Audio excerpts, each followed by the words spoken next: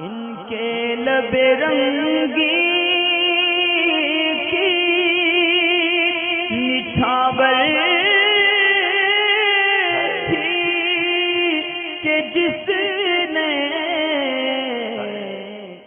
मालूम वही मसला है कि आईडी है एसपी नाम है। पूछते ये हैं या पूछती ये हैं कि आस्तीन के ऊपर से वज़ू किया जा सकता है। यानी बग़ैर आस्तीन को फोल्ड करे, बग़ैर आस्तीन को ऊपर चढ़ाए वज़ू कर सकते हैं या नहीं कर सकते। तो बग़ैर आस्तीन को फोल्ड किए भी वज़ू कर सकते हैं, वज़ू भी हो जाएगा। आस्तीन पर पानी अगर इस तरह बहा लिया जाए, जबकि कपड़े पे किसी तरह की कोई ऐसी नजासत ना हो कि जो पानी से लगकर फैल जाए। मतलब नजासत गलीज़ा अगर दिरहम से बहुत कम थी, लेकिन पानी लगने से फैलेगी तो मसला बन जाएगा।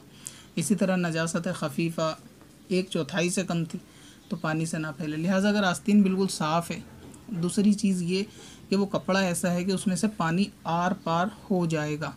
वैसे तो अमूमन हो ही जाएगा अक्सर कपड़ों में से, लेकिन फिर भी इस बात का ख्याल रखा जाए कि अगर पानी उसमें से आर पार हो जाएगा तो ऐसी सख्त आस्तीन है ना कि जिसको ऊपर चढ़ाया नहीं जा सकता।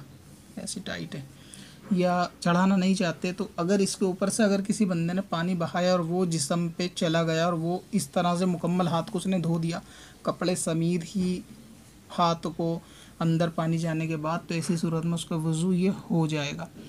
और फिर इस तरह उस आस्तीन को खुशक करके अगर इसी तरह फिर नमाज़ पढ़े, थोड़ा आस्तीन को सूखने के बाद नमाज़ पढ़े तो फिर उसमें नमाज़ भी हो जाएगी। तो लिहाजा आस्तीन को अगर ऊपर नहीं चढ़ा सकते या किसी परेशानी, मजबूरी की वजह से, और उस पर ऐसे ही पानी डाल दिया जाए, अगर हाथ धुल गया, अंदर पानी पहुँच गया तो फिर उस शख्स का जो है वो वज़ू, यानी उस औरत का, मर्द का वज़ू हो जाएगा। मगर ये कि आस्तीन को ऊपर कर लेना चाहिए। मगर सूरत ये कि कभी मजबूरी की हालत में ऐसा हो, मसला पेश आए तो मसला इल्म में रखने के लिए भी बहुत सारी चीज़ें बताई जाती हैं। अमल के लिए नहीं बताई जाती कि ऐसा ही कर लिया करें।